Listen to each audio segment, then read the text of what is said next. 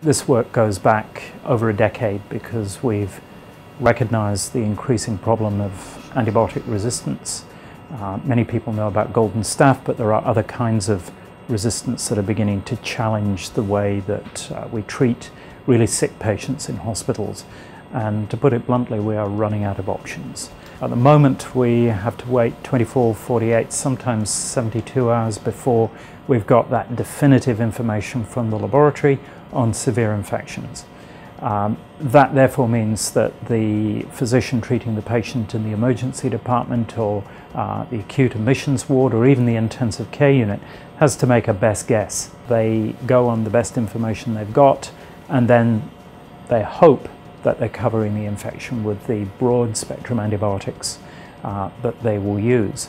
Uh, when the definitive information comes through, they can uh, change the antibiotics and narrow the choice.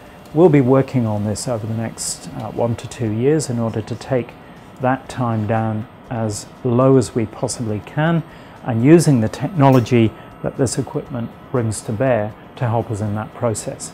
The great thing about the Gates Foundation is that they fund research that is at the cutting edge uh, and that they have a just-in-time model for funding. Uh, that Kickstarter will supplement the other sources of funding that we've managed to get recently uh, and enable us to do uh, faster work, quicker and in greater volume to get us over the line so as we can move towards eventually uh, smaller pieces of equipment than this and ultimately a point of care device that uh, physicians and other healthcare practitioners can use when making decisions about patients.